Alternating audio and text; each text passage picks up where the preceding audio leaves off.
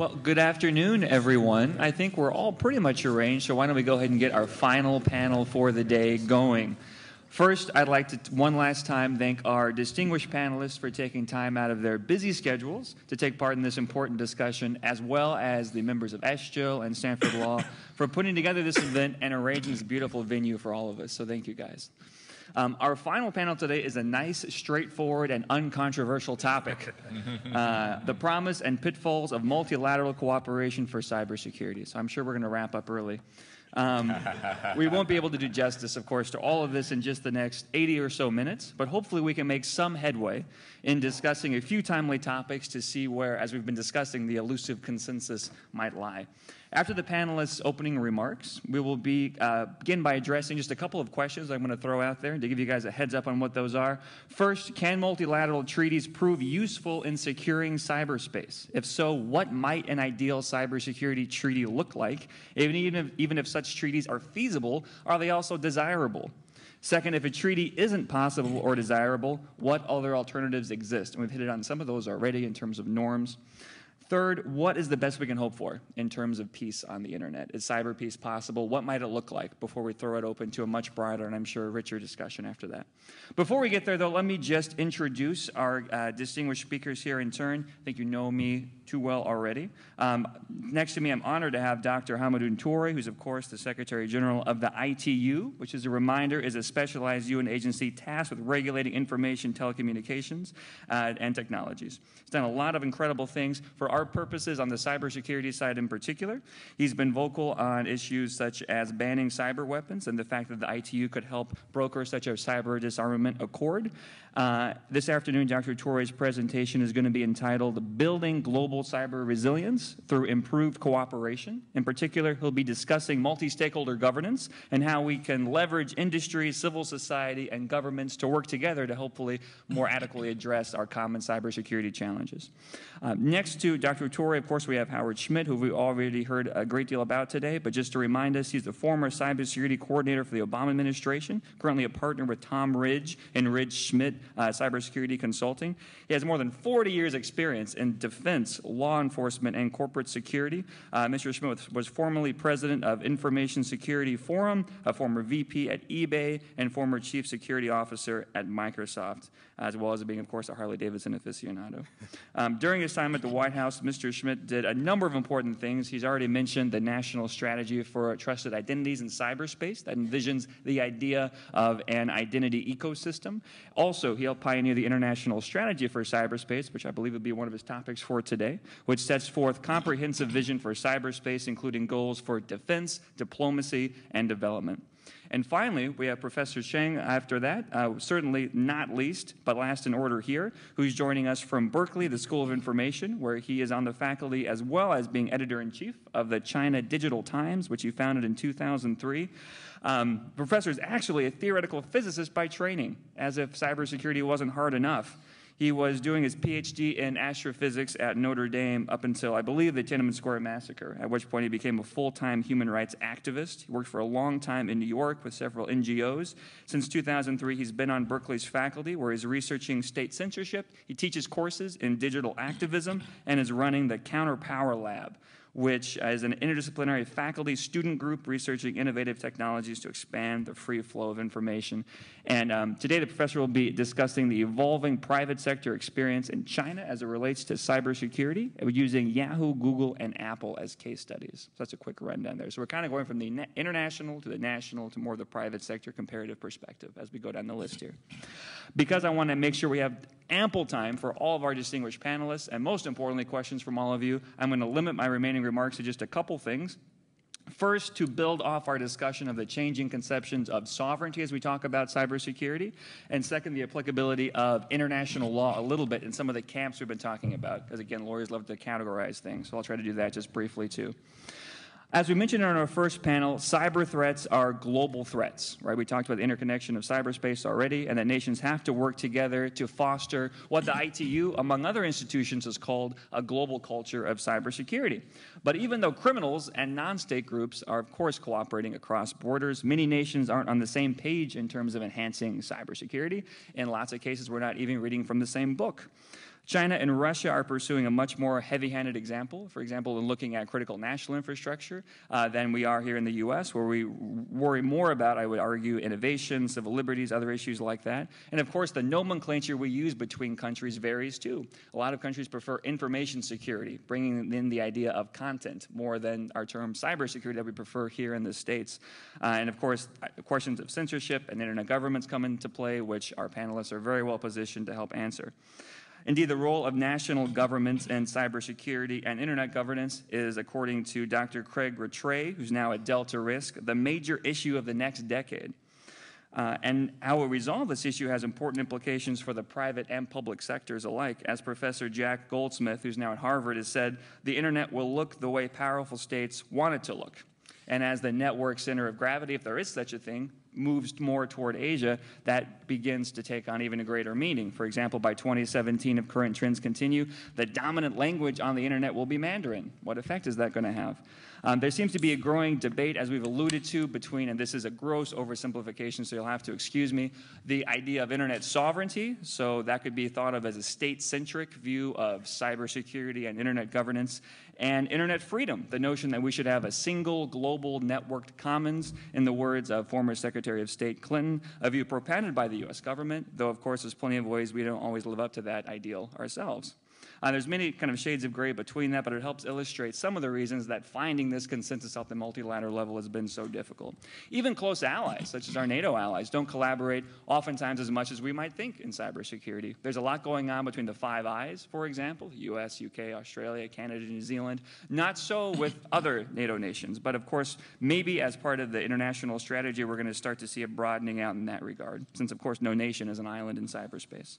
But what international law applies, we've already hit on this very ably, I think, but I thought I would just categorize a few of the ideas out there that I was at least able to come up with in, throughout, throughout the book and throughout all the experts I was speaking with.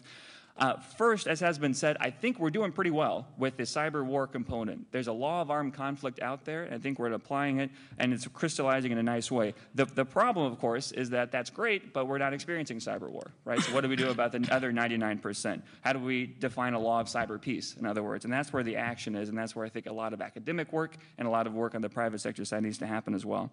A second camp pretty much says this is a new domain, so we need a new treaty to manage it. So a treaty for cyberspace and the guise of the UN Convention on the Law of the Sea or the Outer Space Treaty, right? Uh, Rex Hughes, who used to be at Chatham House, has an article out about this.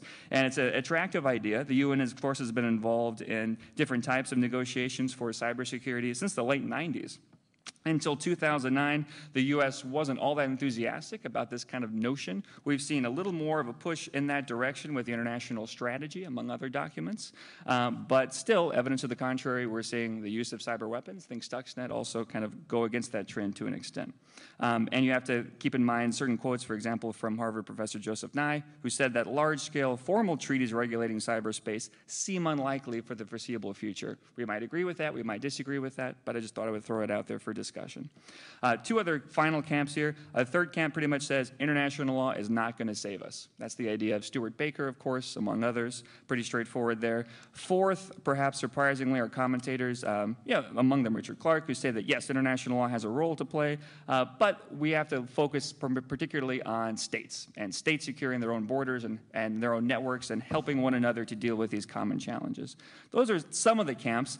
I think that Dr. Touré in particular is well positioned to discuss recent developments at the UN and maybe how we can bridge some of those divides by bringing in this idea of multi-stakeholder governance, which he and of course um, Howard are both very well engaged with at the international and national level as well.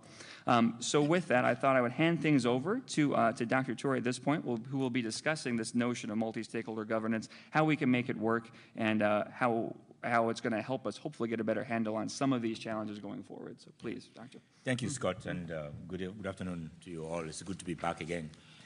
Uh, the issue, the, first of all, let me talk about the extent of the problem. We all talk about the number of uh, botnets, number of uh, cyber attacks, terms of uh, billions of dollars that are diverted every year.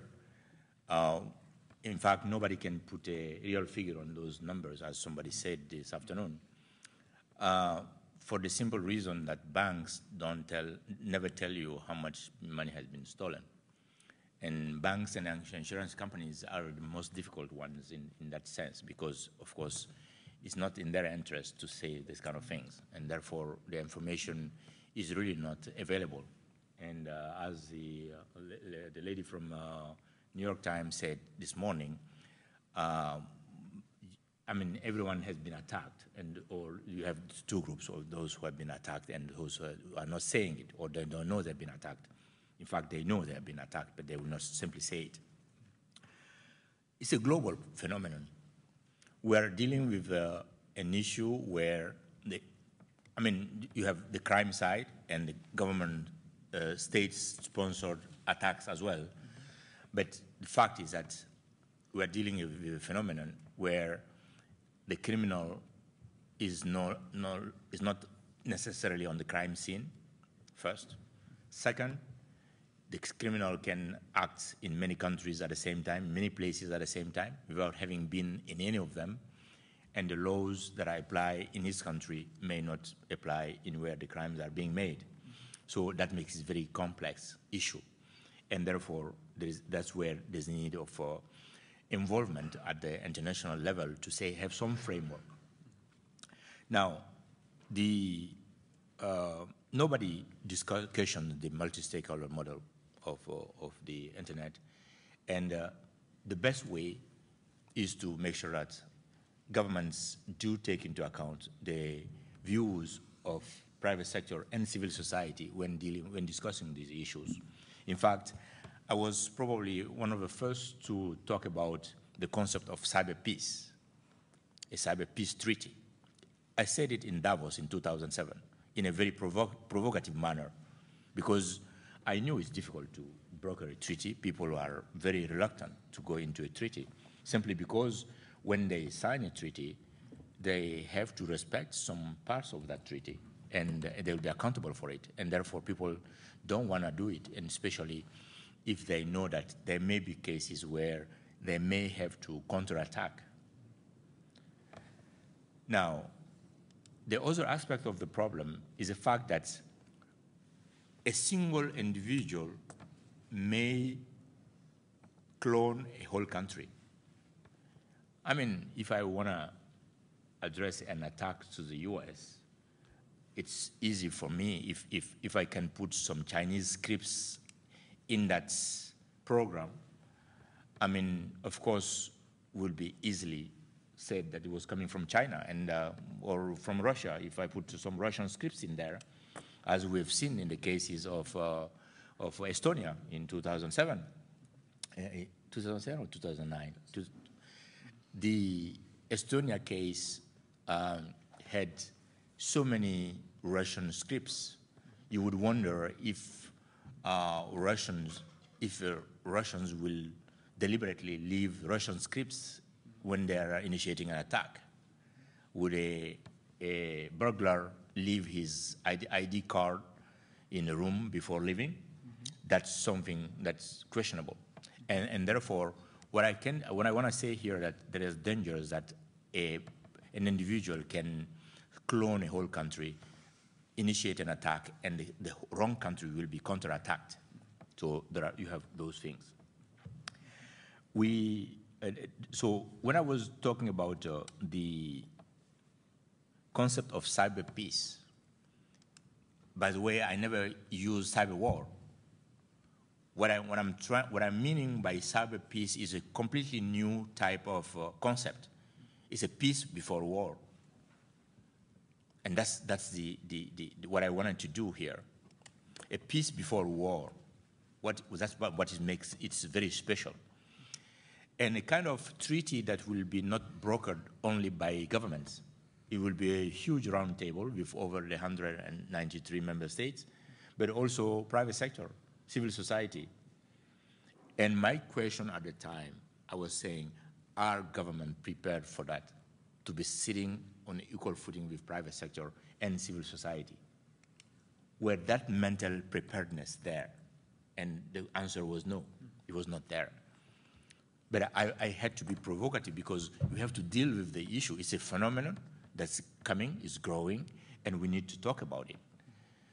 Um, that's why I, I, and I used it in the framework of the global cybersecurity agenda that I created in 2007 after my election as Secretary General uh, in response to the uh, action line that was given to ITU by the World Summit on Information Society, the WSIS, that took place in Tunis in 2005.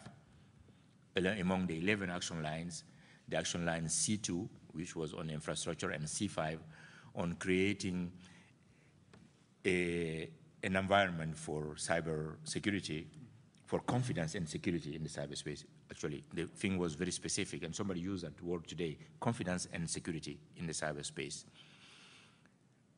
That means that we really wanted to do this before there is a war, and that's really the important part of it. But of course, we've seen the ideological differences among countries in that. There is huge uh, difference. I would see something worse than the Cold War, starting when we were debating this. In fact, when I created the Global Cybersecurity Agenda and asked for a report to be prepared to look at to the environment, it was chaired by George Schjolberg from Sweden, who was, from Norway, sorry, who was member of the Council of Europe when it was done in 2002, 2003 for the, the Budapest Convention. And I asked him to look at all of the existing frameworks, the, the, the Seoul-Melbourne Agreement, the London Accord, all of those to be looked at so that we, we don't have to reinvent the wheel or duplicate, and, but take the essence of the good things that are in each of those to put it on the table. And that's what we did in that report. And it came out with uh, some very uh, strong recommendations in five different areas. One, creating the legal and regulatory framework. Two, putting the technical uh, uh, and procedural framework in place. That's the easiest one because technology is ready for it. In fact, it's a legal and, regula and, and, and regulatory, legal uh, and regulatory framework that is the most difficult part. Three, put organizational structures in place in every country and then in, in worldwide for capacity building. That's important. When people are trained on this, they can prevent many of those. And last but not least, an international framework of cooperation that will help ease the tensions as we're talking. Having seen in those meeting rooms the fights, the ideological fights among the member states, because you're talking about issues that will be content related, therefore privacy and freedom of speech issues are um, very sensitive in those. I, I could see the wide differences among countries, cultural differences, religious differences. I finally, I said to myself at one point in time, I need to find a common denominator so that people can work as, as they talk. Otherwise, we're going to spend endless time in those meeting rooms while criminals are working against our countries, against our children, against our companies. What do we do? So that's why how we came up with the Child Online Protection Initiative, COP. That was a common denominator, children. We said to ourselves, children, there's, there's a low-hanging fruit where we can all work together. If we find a good framework to combat crime against children, which is the same everywhere. Child pornography, is a crime everywhere. But pornography is not necessarily a crime if it's an adult. Depending on your religious or, or the type of beliefs, it may or may not be a crime in different countries. Therefore, we needed to find that common denominator, children. And guess what? If you are able to find a good framework to protect children, the same framework can work for anything else.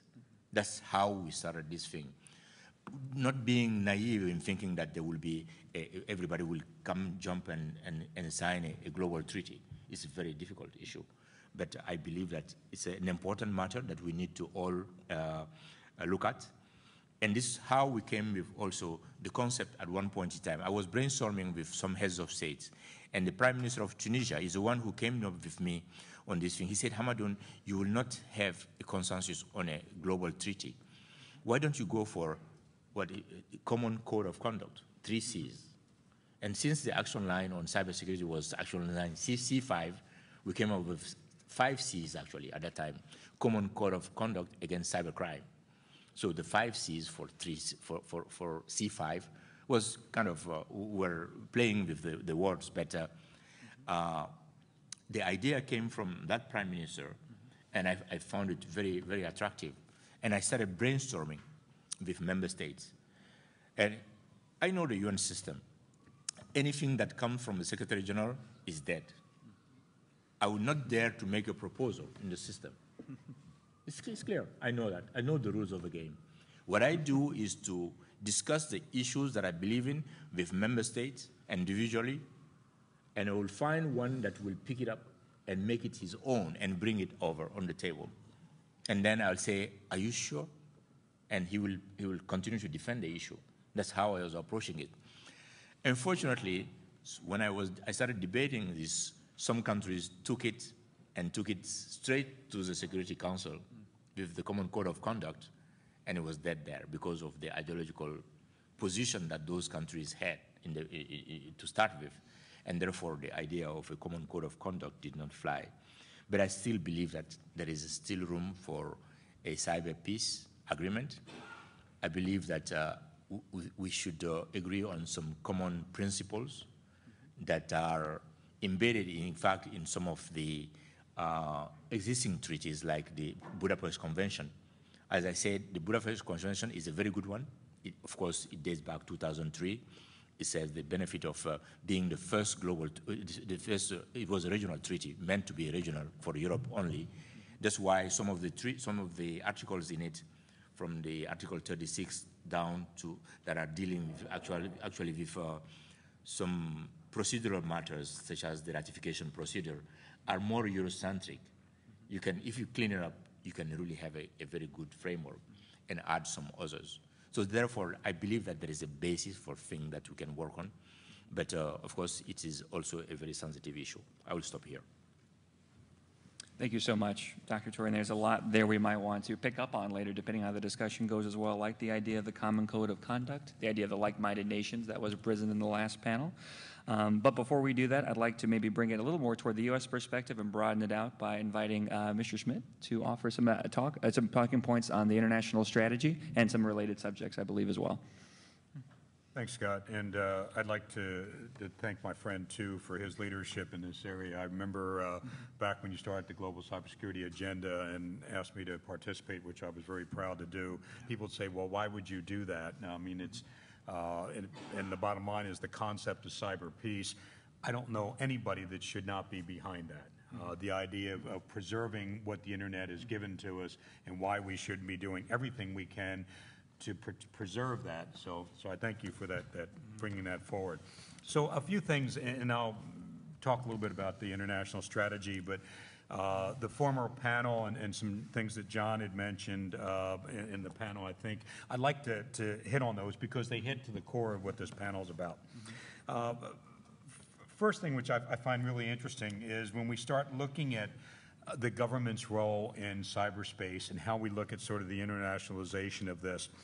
Uh, one of the things I find it's, it's really interesting, and the comment was made earlier about the internet culture. I think, Norbert, you brought that up. Mm -hmm. We do have an internet culture.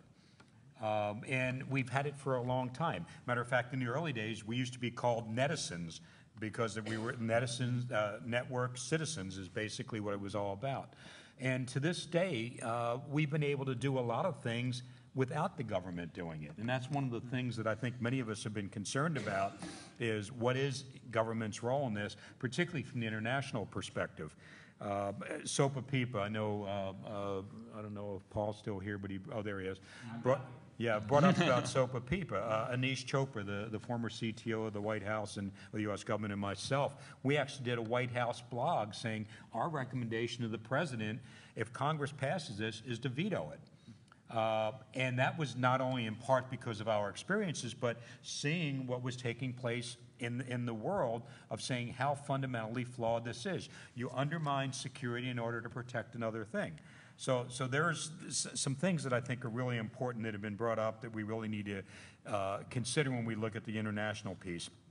A couple other things before I get into the treaty and, and sort of the international uh, strategy is the terms that we've heard, I've heard people use, including, uh, once again, I hate to quit picking on Paul because I'm not, because I have tremendous respect for him, but a couple times used the term uh, the domain, which I hear is used all the time. that cyberspace is a new domain of warfare. Um, and, and, and I still struggle with that because the whole concept of cyber war is fundamentally flawed onto its own thing. There's, there's some really well-defined uh, legal provisions about what a war is, and there's, you know, in the United States, you know, congressional investment, everything else. But we use these terms so loosely, and particularly with the international uh, agreement piece of it, words really, really matter. So the, the whole concept of uh, using cyber war and global, uh, global commons is the other one, that somehow the networks that we own and operate, businesses, individuals, governments, uh, academia, to somehow think this forms a global common just because we can all access it globally is, again, a, a fundamental uh, flaw that I think we wind up using all the time. And, and the next thing I want to touch on, and particularly when the use of military, and I want to use two quick things. Some of you probably in this room remember something that was a really dark day in the history of U.S. Uh, uh, activists, and that was the uh, massacre at Kent, Kent State. Back in the 60s, if you're not familiar with it, a lot of protesting going on at campuses around the country. Uh, what was thought to be a valid response was taking the National Guard and having them respond, which ultimately resulted in a shooting in which some students were killed. Uh, since that, and unfortunately because of that, the use of military not only is prohibited within the United States on civilian populations, but basically has been a basic tenet that we look at. Let's switch over to cyberspace for a minute. And let's look at some activists that we see on a day-to-day basis, whether we agree with why they're doing it, what they're doing. The bottom line is, I'm not sure that I think the world, let alone many of us, would say, okay, so we have a group of hacktivists in four different countries, and we decide to use the military, whatever military, against them because they're, they're protesting something. And we see that, and I know a lot of your work goes into what the government's role, particularly the military role. So that's something I think we really need to think about when we start looking at what is the way forward? How do we develop those norms? The second point I want to uh, point on, and the, the intellectual property lawyers in there, help me trademark this or whatever. So I have, uh, have way too much time on my hands, some people uh, claim, that I sit on planes and read The Art of War by Sun Tzu. Some people may consider it boring, but I find it particularly interesting when you look back to the history and see how it applies in cyberspace. And there was one passage in there that I read one time about use of fire in a military context. And I found it fascinating, and I spent the rest of a six-hour flight thinking about it. So my own, obviously, I can't attribute it to, uh, to, to a uh, renowned person as him, but my own Howardism on this is, so it's okay to use fire in war if some conditions exist. One, the wind's not blowing back at you. The second thing, if it indeed is blowing back at you, that you have nothing that is flammable. And the third thing, if you have something that's flammable, it's of no consequence to you. And the context in cyberspace, when we start looking at the work that, that many of us care about, the use of cyber weapons, if indeed there's a conflict and a reason to use it, those conditions must exist. That it's not can be used against you, which figure out how we do that, because reverse engineering is, is a byproduct of any of these things. The second thing, if that cyber tool is used against you, that basically you're impervious to it. You, you have no vulnerabilities that exist that can be exploited by this cyber tool. And the third thing, if indeed that condition exists, that the vulnerability is of no consequence to you. And no matter what nation you're from, all of us have significant vulnerabilities that would affect our way of life, our economy, our national security, public safety, all those things exist. So the concept of creating the next generation of cyber weapons is something we really, really need to think about. The second piece of this concept is the discipline that goes into it. Uh, you know, there's some rigor that goes into some of the things that take place in, in military operations, and some countries are good at it. But when it's like, well, they've got one, I want one too, and they build it, what controls do you have over it? What ability do you have to control a person who may be part of a, a military structure now that five years from now is a security researcher somewhere, and they can take that same training expertise and use it in a very negative way? So these are things that we really have to think about, and I wished I had some solutions, but I do not. But we really have to consider that in our international discussions moving forward. So then, the, uh, the, the last thing I want to touch on is, is the provisions of the international strategy. For, for those that may not be familiar with the way things work in the White House and the government, we have a, a fairly protracted process by which somebody comes up with an idea that needs the president's attention, such as an international strategy like this. You bring all the departments and agencies, their perspectives, their expertise, which are tremendously valuable, because it would be tremendously short-sighted of us to say, we're going to talk to this one agency who has specific expertise and ignore everyone else. So after a very painful and long discussion on how to do this, you effectively work on this, send it out, people comment on it, they strike this, they argue about this, you have more meetings, and that's the bureaucracy in its best. But you ultimately come out with a document that really represents more than anything a consensus of what's going on. And as I mentioned this morning, when the international strategy was released, it was not a strategy about security. It was about cyber peace, interoperability, freedom of expression, freedom indeed recognizing some of the current UN treaties that exist, freedom of uh, uh, the, the human rights doctrine, uh, the, about uh, use of force, uh, armed conflict, all these things which many of the experts have said, we think they can be applied in cyberspace like anything else. So, but it was not designed to saying, here's what we're imposing upon the world, but this is an invitation. And, and, and for those of you that have not seen it, and, and I would extol you to take a moment and look at it, read it through, through your lens, through your perspective, and see how does this really make the world a better place? Cyberspace has given us greatest the greatest capabilities that I can ever, you know, looking back historically.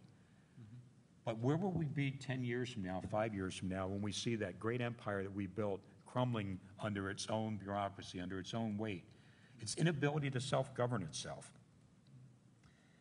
And in closing, uh, I, I think one of the things that, that I think more than anything else is it's just fundamentally flawed for us to wait for governments to agree on things as Dr. Curry knows firsthand, as, as all, many of you in this room knows, there is no easy path. Mm-hmm. So there's been much discussion about a treaty, mm-hmm. and I don't think anyone's ever said we will never need a treaty. Mm-hmm. But how do we get from here to where we need to be in a manner that's really gonna, gonna be timely?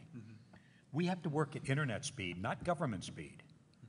We need to make sure that we're looking for solutions now that can be applied later on to a treaty. And there's all kinds of valid arguments. A quick example on the, on the nuclear uh, proliferation treaty, where we have agreements that you can go in and you come to my nuclear weapons storage, which whatever it may be, and say, okay, you have 27, you're only supposed to have 25, you get rid of them. Valid argument is how do you do that in cyberspace? We can all sign a treaty, but all it takes somebody with a laptop or in some cases a smartphone in the back room and can really launch some really desperate things we've seen with the DDoS attacks and everything else. Mm-hmm. So there's a lot of issues that go into a treaty, not uh, taking into account things that Scott brought up about the, mm-hmm. even the dispute between cybersecurity and information security. Mm-hmm. And by the way, for the record, we as security professionals had dibs on information security. We called it that first. Uh, I mean, it, many of our certifications are about information security, but notwithstanding that, but that's a clear example of how governments argue and debate this thing. And when we look at the, the confidence building measures we've looked at, the Russian Federation, this is public, it's on my white, old White House blog from when I was there, is I sat down with the Deputy National Security Advisor from the Russian Federation multiple times, trying to develop what are the things that we can do as two nations that consider to be one of the, I think someone used the term this morning, cyber powers, where we can sit there and say, let's ease the tension a little bit. Everything from a hotline like there was during the Cold War to transferring information from emergency response team. You talk about information sharing, that's a good one.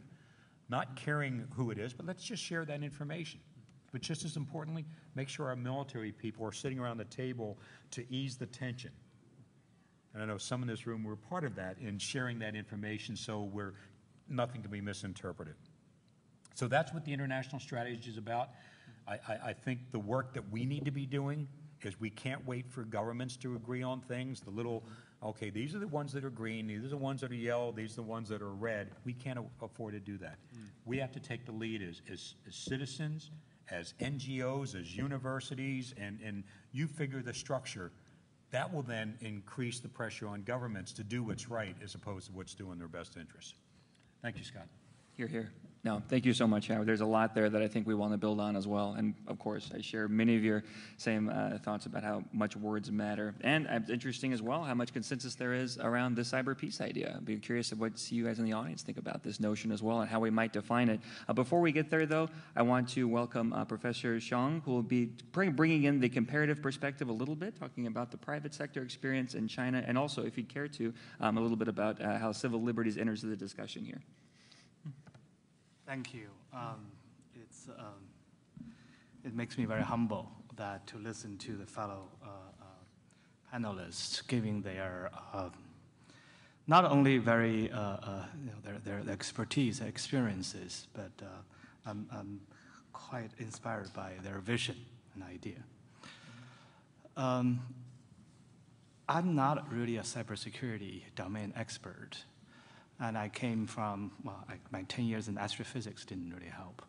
But uh, uh, I came from uh, human rights, internet freedom, um, and digital activism, kind of a re relating adjacent, adjacent uh, uh, and uh, I encounter those issues many times, and particularly my daily observation and following is on China um, and uh, uh, observing both the cyber uh, citizens' behaviors and civil society and the state censorship control, politics.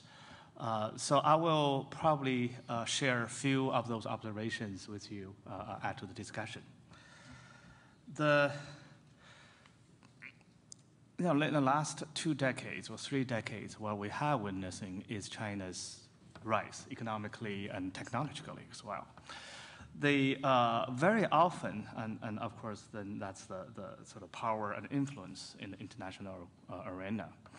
So very often when we talk about negotiating with China, discussing issues with China, dealing with China, um, to understand China and Chinese government, um, uh, there is a very strong, uh, uh, how to say, the, the, the perspective is that uh, Chinese government is not monolithic.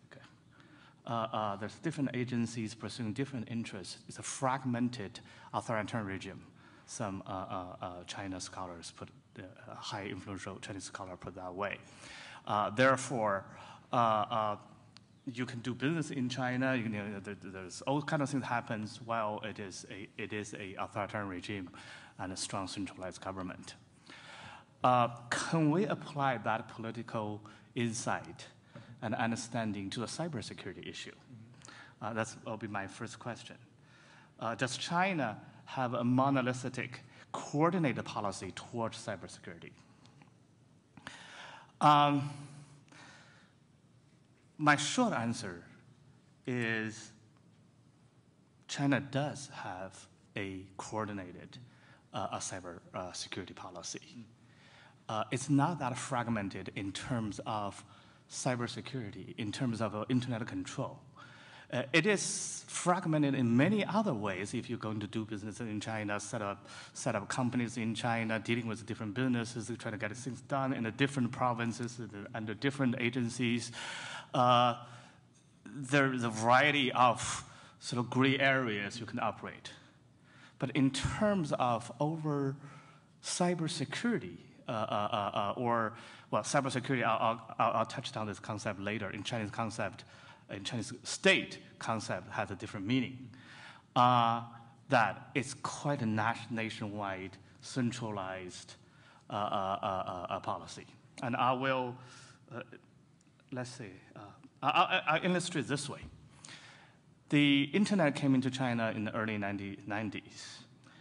Uh, since 1996, there is a called a National Network of Information Security Coordination Small Group.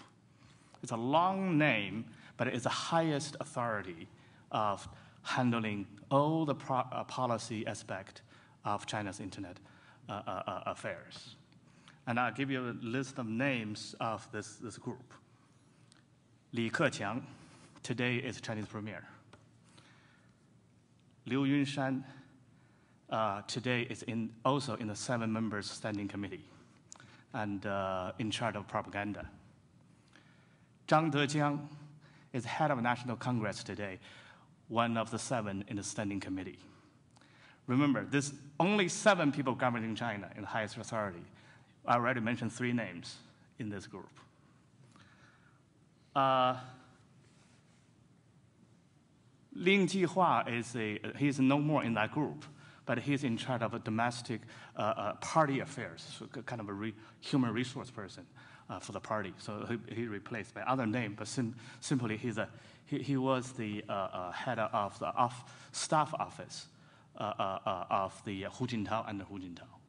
Now with the new president, the new names put in. Meng Jianzhu is the Minister of Public Security and Chen Bingde finally is PLA.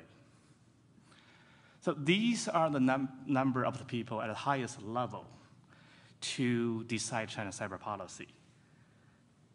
Not only the level is high, but also has been very coherent, meaning the, the leading group started in 1996 and formalized in 2002, and now it's 2013. The continuity of such policy. And even you can tell from personnels. Mm-hmm. Um, so that's uh, sort of, uh, uh, I was saying, China has a very strong nationwide centralized security uh, uh, uh, policy making. And I'll put one more thing forward, which is in you know, different states, governments, when you negotiate, when you're dealing with each other, everybody say we have a core interest, we negotiate, and what can be mutually benefiting or, or that. And what is China's core interest, uh, giving such high level of importance of cybersecurity? Um, you, you, you read from international press all the time uh, saying, well, what's China's core interest, right? National sovereignty, uh, security, territorial integrity, uh, peaceful domestic development. You hear from the Chinese press all the time as well. Those are familiar words. Uh, it pretty much it can apply to any country.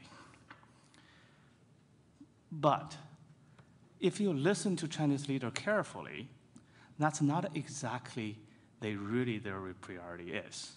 And this already being stated. Uh, it's reported on China Geo Times uh, by State Councilor Dai Bingguo, who's the leading official uh, of uh, foreign affairs uh, in his visit to United States in 2009, he publicly stated to United States, to the state government, what is the core of China's interest, core interest of Chinese state.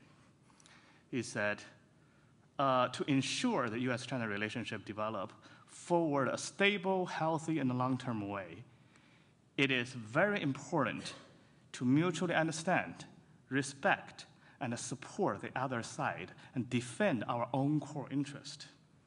And he continues, what's the core interest? He said, number one core interest is to maintain a fundamental system and the security of the state. Number two is a state sovereignty and the territory integrity. And the third is a continual stable development of economy and society. It's not that surprising and shocking, but it's made very explicit that uh, the political stability of the regime is always comes very first. Economy comes later. Even territory, that's secondary. And uh, so if you look at China's internet development, including security policy making, anything coming to the stability or under that banner uh, political stability, regime stability, and now they call they using that conceptualize information security, including the concept of what they call content security. Yeah, it's not just a virus, it's not just malware. Uh, they're talking actually political speeches. Yeah, but they included in that regime and thinking, put a top priority of it. And so from this framework, you can understand the state behavior, yeah, uh, uh, was very different than, and of course there's no public de debate on none of those. Uh, uh, uh, it's very different than, than the other countries you deal with. So on the implementation level, uh, these high concepts actually do reflect reality. Unlike many of Chinese government policies in economics and culture and social policies, it states one thing, but once it gets get, ground, it's implemented very differently. Uh, uh, but on those internet control area, the state policy actually implements quite thoroughly and efficiently, you want to say it. Um, and this is something in our work that uh, uh, observes all the time. For example, uh, well, I was going to, uh, to, to, to, talk more about Google and the, recently uh, Apple is being sort of very uh, prominently attacked in China under the name of they're not doing good enough customer service. Well, you know, you, you, you'll find plenty of the pushback in Chinese internet you know, citizens comments and come on, you know, like, that, that we, our, our biggest, largest rivers has tens of thousands of dead pigs flowing. The, the, the national media, state media is not picking on, not, not, not reporting. And you tell me that Apple doesn't replace the, the back cover of their iPhone uh, as a problem. Um, Chinese people don't really buy that.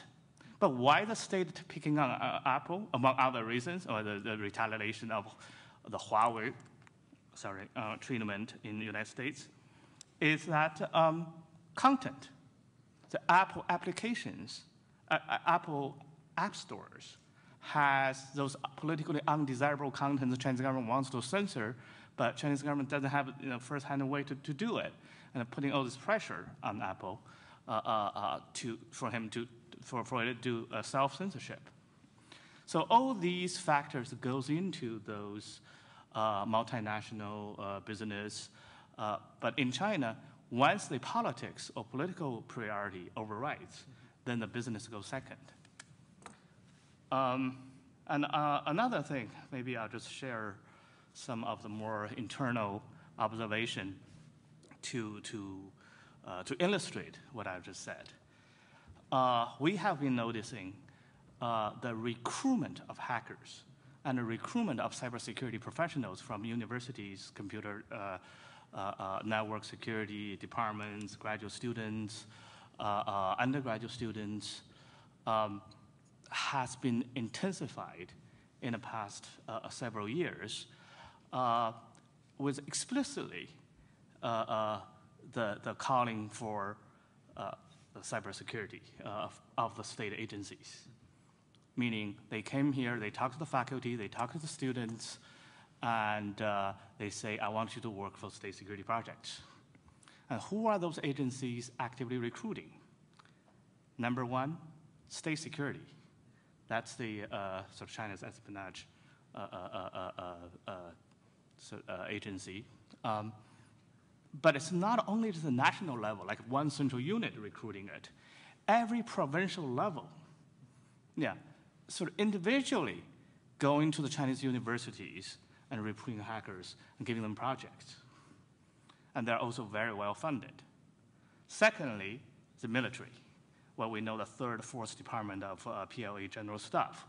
Uh, uh, these are intelligence gathering, technologically intelligence gathering units. Like recently in New York Times, we exposed that the Shanghai unit it belongs to the third uh, department of PLA General Staff. And uh, Ministry of Public Security, yes, they also goes in actively to recruiting hackers. And finally, was Industry of Information Technology, Ministry of Information uh, Technology. Um, they all have those what they call the cybersecurity uh, projects uh, a larger scale, uh, actively recruiting people. Uh, nobody knows, well, uh, it's difficult to trace out what they're actually doing, but here are some differences. Um, talking about displaying control and, and, and, unpredictability of those. Um, you can imagine those military units and, and they look like in a centralized place in a one building, probably multiple people working on the project, and uh, probably have some kind of discipline and training behind it, whatever their, their project is. But those state security recruited people very often working on an individual basis. and uh, very discreet. Uh, especially they don't have, a, a, they, they, if, if, if the different provincial or different units are sponsoring different uh, projects, it's hard to imagine what kind of control and discipline behind it. You don't even know if they are giving a state espionage target at the same time they're not stealing some credit card or not. Yeah, and how do you control these type of behaviors even within China? Uh, that's complete black hole. Yeah. And then what's the consequences to you know, inter security internationally? You know, what exactly those hackers doing? Uh, uh, uh, and how, what's their responsibility really is? You can't even tell from the state security policy go. And because that control mechanism itself, if it's go out of con control, could cause unintended consequences, even for the Chinese state. Um, so I, I, can go you know, on, on, on, more details, but let me just summarize to say, um, well, let's say one more thing. Now China has a new pres president. Would, would you this, this general political framework change? The short answer is no. The new president has been uh, sort of very goes up, uh, uh appealing to the nationalism and as a motivating force and, and a promise using the, the, the, the rhetoric Chinese dream, national uh, renaissance, uh, um, uh, as part of a platform he's trying to put his political agenda forward. In that context, I do not see the China's national cybersecurity uh, uh, and cyber control policy uh, will, will have any change. So given that, it's rather a, a pessimistic condition uh, that what kind of international treaty we're, we're looking for. Um, let me just end to say, well, in the, in the reality, these challenges are real.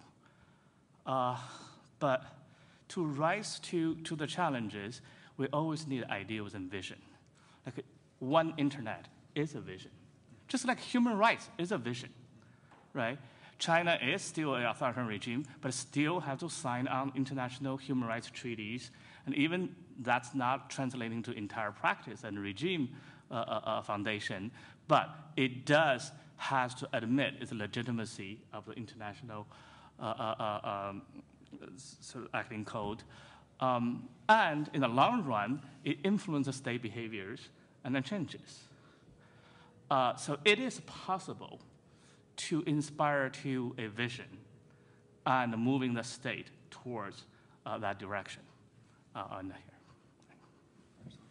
Thank you so much for that, Professor. There's a number of important insights there about Chinese cybersecurity and, in some aspects, the bilateral relationship that's going to shape so much of the 21st century, including in the cybersecurity sphere. Um, I'm cognizant of the time, and I want to allow as many questions as possible from the audience. So, because of that, I'm going to limit myself just to, to one, uh, I use one privilege and just ask one question of the panel before we throw it open, if that's all right. And that's a pretty basic one. basic. Um, there have been many proposals out there of different forms that multilateral treaties could take. Some of you might be familiar with Professor uh, Oona Hathaway's recent uh, take on this. She said a treaty would need two elements. One, we have to define the armed attack threshold, and two, we need deeper international cooperation for criminal prosecution. Others are far more grandiose. Some like the idea of including cyber espionage in it, or even banning all cyber weapons. Um, others focus on more low hanging fruit, as has been talked about, such as amending or perhaps even negotiating a new cybercrime treaty.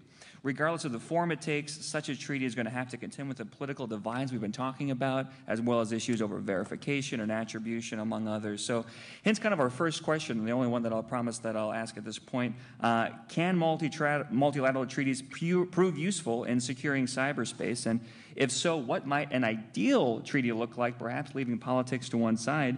And even if it is feasible, is it also desirable? Is that a direction you think we should take? I'd welcome any thoughts you might have. Listen, uh, I will take on this, uh, this issue because I've been asked when I first talked about the cyber peace concept, what would you put in there, the treaty? Mm -hmm.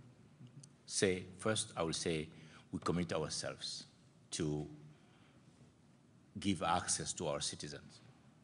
That's the 1st article that I will see in there. Second, we commit ourselves to protect them.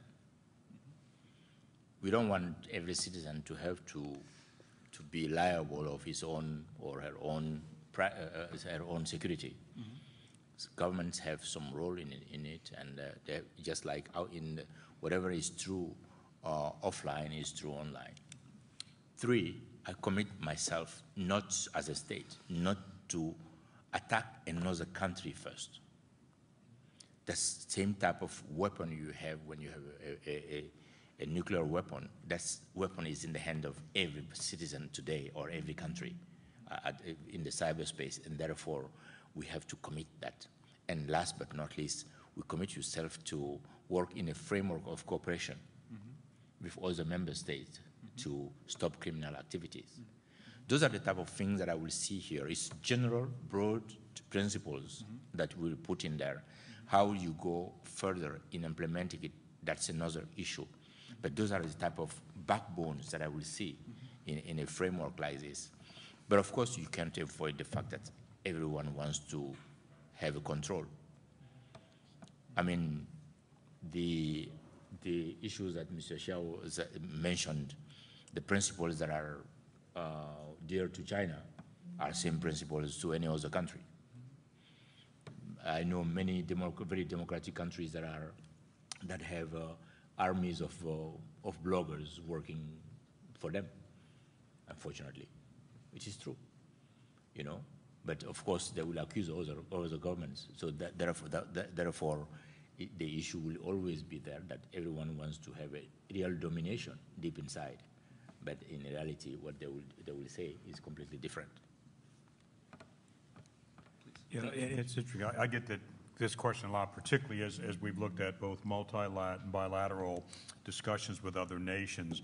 And, and, I was sitting here to build a little bit on Nicole's uh, paranoia from that PDF that, that she mentioned this morning.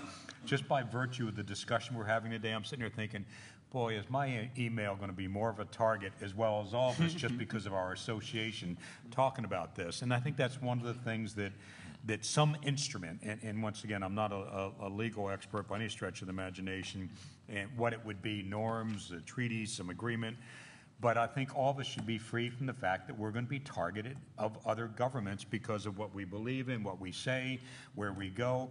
I mean, there was a recent uh, document put out on telling CEOs what to do to protect themselves when they go to some uh, to visit another country. And it didn't focus only on China, but it was a lot of countries because the expectation is the minute you log into somebody's network, whether it's your hotel, uh, at a uh, hotspot, that the government's going to be sucking down everything you're doing.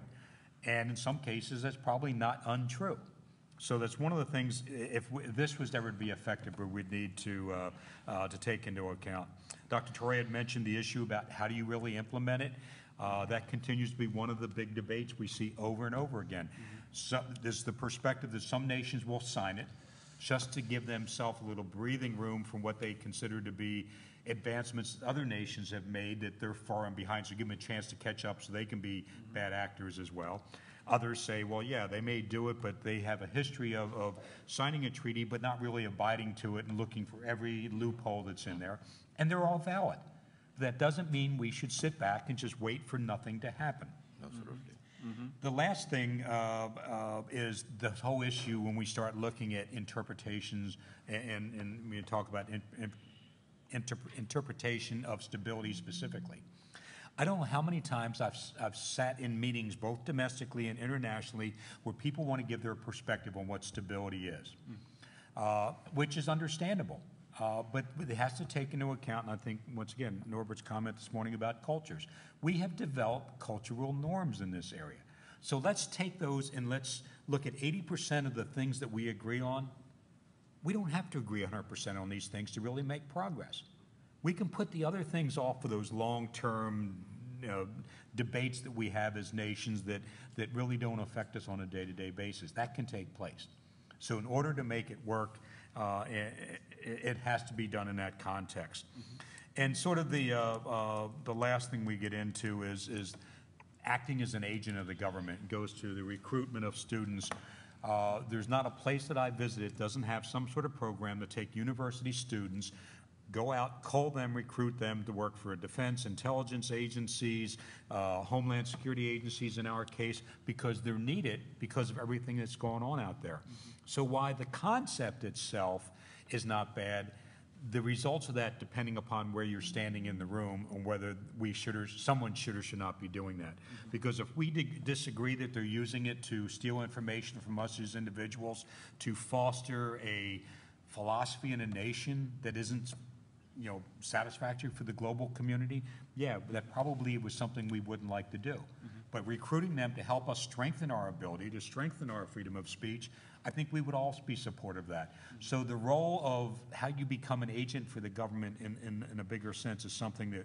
we would take any- need to take into consideration if this was to have any chance of moving forward.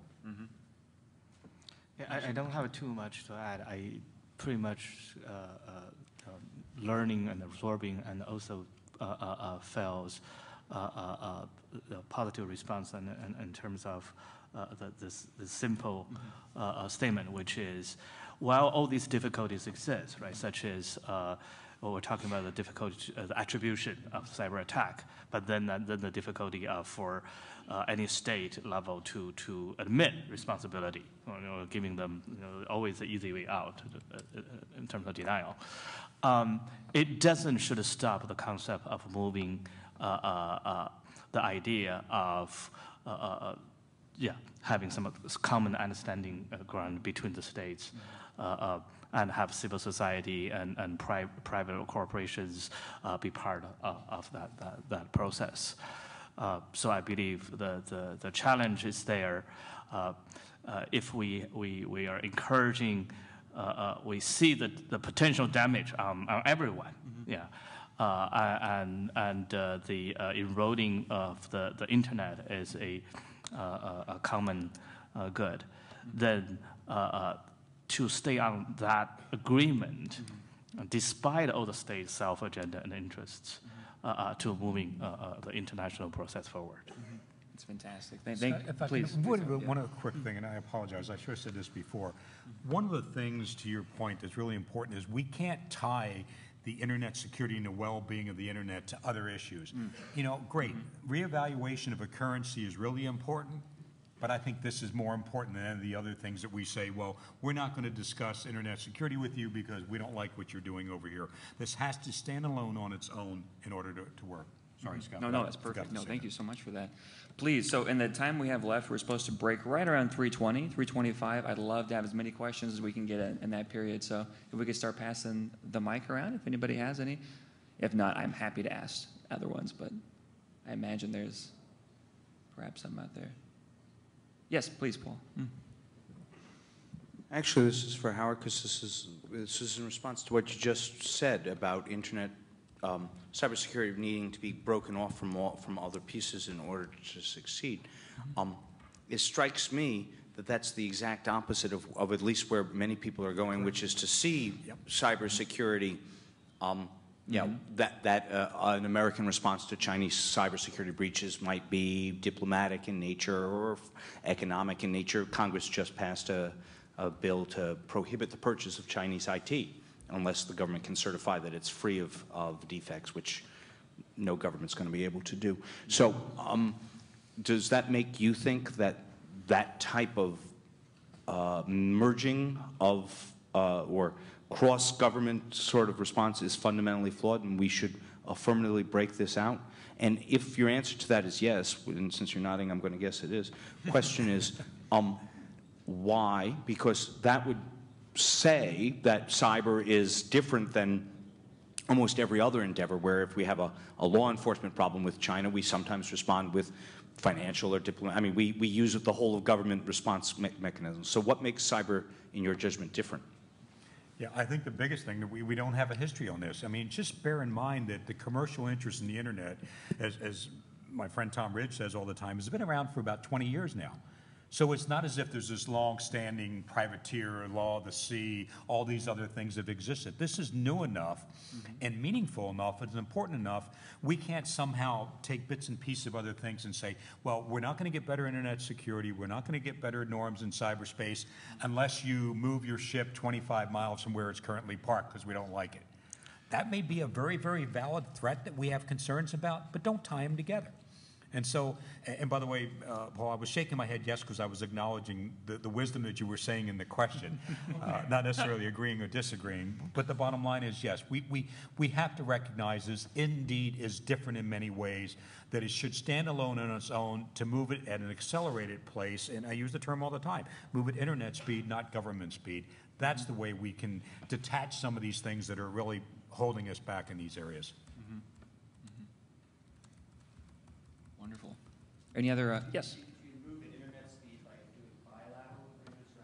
Mike, can take the mic? I'm happy to repeat that as well. Yeah, so the question was the more of the bottom-up approach that I think Irv referred to in the last panel. Should we go the direction of these small, like-minded clubs, start bilaterally, maybe start with small groupings to build consensus that could then be broadened out, whether in a series of norms or common codes or as a stepping stone? So, I, I fully agree with you. We, we have to start this thing in, in smaller groups, and that's why even on the themes we have to go to, on, as I said, on the low-hanging fruits, issues that we have in common. You know, that's why when I put the this, the COP initiative, Child Online Protection Initiative, on the table, I, I had many attentive ears because uh, it's an issue that is common to everyone. Child, children are are an urgency. They are the most vulnerable. They are the biggest users of, of the net. It's our future. And, uh, you know, we all agree on the type of crimes around them. Uh, so we, we, we, we are able to find some ways to, to do something concrete as we are talking. Uh, awareness building is key to all of these things, and this is why uh, if, even if we achieve nothing at, at the international level in terms of uh, uh, coming with a treaty, to me, the biggest, my, my best goal is to just raise the awareness on the issue so that people talk about it and talk about it frankly and see genuinely what are the areas where they can have find solutions. And again, uh, if you find those little circles uh, without excluding anybody, and that's why I think the multi-stakeholder model of internet is very important. And but that means not to exclude anybody. Everybody is a stakeholder. Therefore, uh, we need to make sure that the issue is debated on, in all circles, and then it will somehow be channeled. And uh, as we continue to harvest the low-hanging fruits, I mean, I mean, some, somewhere we're going to be there. But again, there is a, uh, this issue of uh, trying to, to control. Every nation, in fact, deep inside, wants to be the one controlling the internet. Whether they say it or not, whether they are democratic or not, they want to control it. In fact, to be frank, I have not seen a hacker being jailed anywhere. If a small hacker, a smart hacker, they don't jail him, they hire him, unfortunately. That, that- which is unfortunate, but uh, it's, it's the case uh, because of uh, states' desire to have the best to control. Now, those interests may not necessarily be contradictory. We at ITU believe in that because we have that's uh, being the oldest organization of the UN and with a very good framework of cooperation between private sector and public sector. We also have been working in an environment which was not politicized. Uh, I've really been confronting political issues only lately. Um, in, in, in December during the WCIT conference, that's the only time I really see saw some real, very tense uh, political oppositions. I mean, just in January last year during the World Radio Conference, I was able to broker a deal between Israel and Palestine, a common resolution without having to go through a vote. And those things happen in a regular basis at ITU. And therefore, I'm saying we have a platform to try and get people to talk to each other. We, I'm not saying that we should be centralizing all of these things or the one being brokering this, but we do have some contribution like any other, other, other circle. And therefore, if we combine our efforts together, we'll be able to achieve something. So Jeff, there's three quick comments I want to make on that. One, the whole concept of boiling the ocean is just, you know, the first thing that comes to mind when you hear something that, how should we do that? You're never going to boil the ocean. Secondly, since we like to always use examples, look at the building of the internet. Uh, Vint and, and Bob Metcalfe and, and Tim Berners-Lee, they weren't sitting back here years ago and say, this is what the internet's going to look like in 2013. And we build a piece, we build a piece, added, changed things, and I think that's the same thing that applies here. There's got to be those in some cases bilateral, small multilateral issues. The third thing and the example, the, the, the example I like to use is the evolution of money laundering laws, and I think there's some, some good comparisons to that. I remember back in the early days of my law enforcement career, money laundering was sort of the scourge of the world. I mean, there were some nations that participate because they were just fundamentally corrupt. Mm. Their leadership benefit from it. They, they, they helped foster it because they made money on it. Other nations sort of took a blind eye to it. They said, listen, yeah, it helps our, you know, that we're making more cars, so we're selling them because bad people are doing bad things with the money. And then there were those that said, under the rule of law, we, money laundering is fundamentally bad, created international laws, because by the way, there weren't laws at the time. And then so now you're sort of like a pariah if you're not in part of that club. And I think that's the same way we need to build this, where if you're not going to be part of the internet community to be security and privacy protection, all those other things, you're going to be ostracized by the rest of us. And no nation really wants to be there. And how you get there is you take a, a, a bite at, at, a time and say, let's fix this, let's go with them. The, I mentioned earlier the green, green, yellow, red, and didn't really explain that. So there's some of us that are already like-minded. And then there's others, those in that group that are green, that have relationships with some of those in sort of the yellow category. They're not quite sure what to do. And they have relationships with the ones in the red category that just think this, you know, we want total government control. That's the way you influence this, that's the way you build it, and that's the way you get this thing moving a lot quicker. Uh, I would also pick up again on your question about whether multilateral uh, mechanism will work or bilateral. We know for sure that bilaterals will take, if I have to do a little bit of calculus here, 193 member states of ITU multiplied by 192, it comes to 37,056 bilateral agreements to be made if countries have to do those bilateral agreements. That's why you try to create a regional framework or an international framework where people will adhere into. But you do that in terms of principles so that it won't be too cumbersome. Uh, and that's for sure. We know that the bilateral won't work, or it will take uh, uh, you know centuries to be to be agreed upon, and it will find itself with uh, uh, different holes in the bucket because they may not be compatible with one another. And therefore, you always wish to have something uh, on, on, a multilateral uh, level. Mm. Now, can you do that at the regional level to start with, like the Council of Europe, the, the Budapest Convention, and move on into different regions? Or you do it on a global scale. But one has to talk about it. One has to start something. Some tell, tell me, oh, it's going to take 10 years to, uh, to work on an agreement. Oh, 10 years is nothing in the, in, in the lifetime. And uh, if it takes 10 years, let's start now. Someone someday will sign something that will have a positive contribution to the world. Thank you so much. Any other questions for our panelists? We have time probably for one, one, maybe two more. I thought we really wore them down. Yeah. That's the end of a marathon here. If I thought about what I learned here today. Um, one point is um, the user is not really the problem. Government are bad and not fast enough.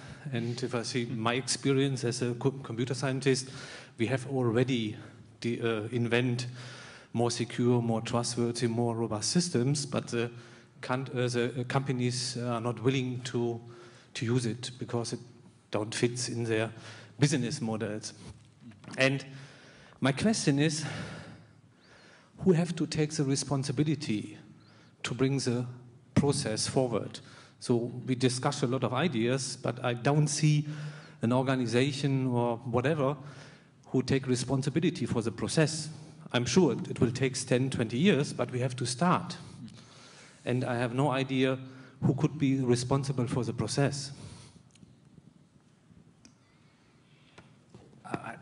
you know, my answer is you're right. Uh, we, we don't have anyone, and I don't know that, the the very distributed nature of the internet keeps us from having a central body in charge of it that, that basically would take the lead in making these things happen. Uh, Dr. Touré mentioned about the speed. Uh, was it the GG, the Group of Government Experts, uh, which I would argue the expertise, but that's a side discussion. But they meet every two years Can you imagine if I was getting ready to roll out a product as a computer scientist, for me to have a meeting once every two years to build the next great app? It would never happen. And so those are the things when we start looking at the very distributed nature of the internet, I think the solution and the responsibility is shared. We have the private industry, we have the academia, we have all these people that continue to push this forward as, as we're doing here today by saying we can't wait for any one group to take control because it will never happen. And if it does, it'll probably be the wrong one anyway. I, I fully agree with that before. And, and this is uh, something that is uh, really distributed, and uh, but everyone has a role to play in it. Now, people should not be afraid of playing their role for fear of of uh, being criticized for taking control. That's what happens whenever we at, ITU level play our role, little role. People say, "Oh, they want to take over the, con- the, the control." It's not the case, but that's not going to deter us from doing that, playing that role. And I think that's the way everyone should be, behave because uh, the issue we are dealing with is a, a very high stake. It is very important for the future of uh, the future generations. We need to do something about it. It's a serious problem. Now, some people will, will tell, you, tell you, no, if it broke, don't fix it. Uh, or don't talk about the war, there was no, there will be no cyber war. We want to avoid it. Well, I wish every day, the best way to win a war is to avoid it in the first place. And I wish every day we're saying we won a war by avoiding it. And, and, and especially in this type of environment where a single brain can, can take on the whole world. You know, this is not an area where there is a superpower. Nobody should fool himself or herself that his country is a superpower in this. Every single, it's brain power that makes a difference, and you can have a genius anywhere. anywhere. Look at the, the worst little viruses ever made. You know, I give example of the, uh, the I, love, I Love You bug, which has the widest spread in the world back in 2002. It was built by someone in the Philippines from a, a, a- wooden house with a laptop less than $1,000. That's the power of these things. So individuals can be anywhere. So, and, and therefore, we, we, uh, we should not underestimate anyone. So how do we work together to make it happen? That's, for me, that's the question. Mm-hmm. Mm-hmm. Yeah, building off of that idea of a networked distributed approach to a network distributed problem, I thought I would just ask kind of one final question here, and that's around the topic we've been dancing about a little bit, and that's the end game. What are what's the goal? Uh, what is the best we can hope for in terms of peace on the internet? Is cyber peace possible? And do you have a vision for what that peace might look like? I put that question to a few folks I was interviewing for the book, and I got some great responses. One former government government official said, "Cyber peace would be an entire weekend without my BlackBerry going off." And I like that. I like that. Um, but perhaps I thought maybe you could uh, share your own insights into where we're headed in an idealized world, and maybe maybe a little more how how we can get there. Whoever would like to take an idea there. Yes, I, I guess I don't think any of us would be sitting here if we didn't believe that it's possible. Uh, I, the, the end game would be, and I think we try to articulate this in our inter- international strategy, the world we envision, where citizens are free from cybercrime, that governments are interoperable, we have the economic benefit of it, a- and, you know, it's, it's very clear in there. So yes, I believe it's possible, and I believe that, that constantly talking about this and constantly making changes in the way we view the world from a cyberspace perspective will get us there. I just hope I live long enough to see it. I I believe that uh, the leaders of our countries and uh, the, the leaders of the industry and academia have the obligation to dream and dream big for the people, and so that our industry be one, the one that is uh, the most peaceful one. And uh, we, once uh, we share that dream, it becomes a vision. And I think everything starts from there. A peace will come from a vision. If we don't believe in it, it will never happen. And I strongly believe in it. That's why I've been advocating this uh, from uh, the day I took office. And I will continue to do so even after I, I finish this office, because I believe that the future generations uh, that are very uh, much rely on, on the cyberspace uh, need to continue to evolve in this area. Let's make, there's nothing wrong in us calling for making this one space where there was no war to be a peaceful one, to continue to be so, a place where citizens of all the, all the planet can really work together in a peaceful manner. Well, I don't think we're going to find a more optimistic note to end on than that. So please join me in thanking again the distinguished panel for all their thoughts.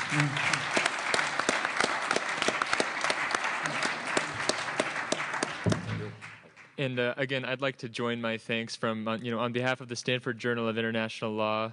Uh, thank you so much to all of our panelists um, for joining us today. And we'd like to give some special gifts to Dr. Touré and Professor Qiang. Uh, if you'd please join me in another round of applause for our great panelists.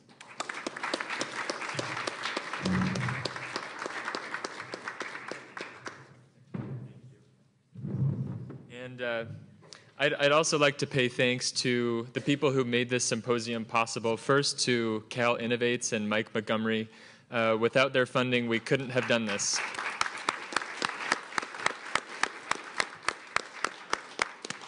And uh, from the Journal of International Law, the symposium committee was instrumental in sending emails and setting up rides and uh, doing everything that we needed to do to make this happen. So Skylar Brooks, David Berman, Nikki Marquez, Lisa Lee, Carrie McClellan, Jessica Fox, and Michael Frankel, and of course, not to forget the co-editors in chief of the Journal of International Law, David Martinez and Sarah Trella. Thank you so much.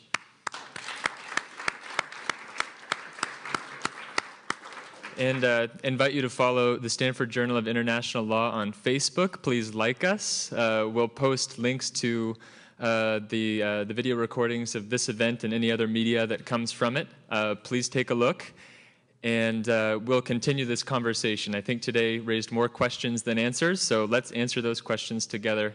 Have a great weekend.